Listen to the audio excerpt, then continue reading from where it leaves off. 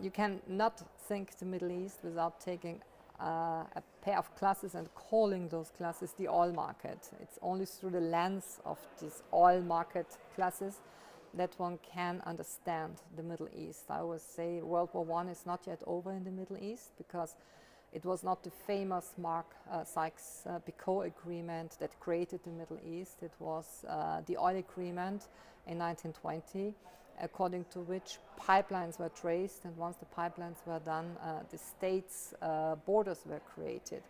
Uh, so anything that has happened between Iran, Iraq, Syria, Jordan, it was often in the name of oil, and that we could definitely see also during the war of 2003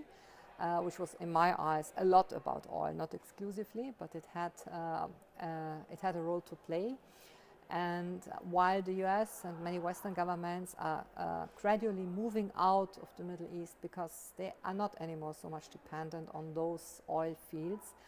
it's uh, China, it's India, it's Malaysia that are moving in. And I wouldn't exclude that one day we will see a pro Chinese, a pro uh, Indian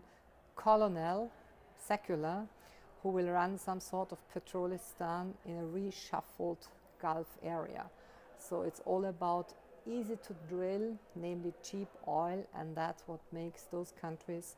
uh, so much dependent on the oil interests of, uh, of the power which is currently number one on the agenda. And uh,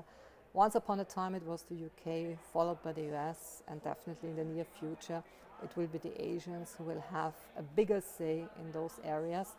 uh, in the name of oil, like did the others before.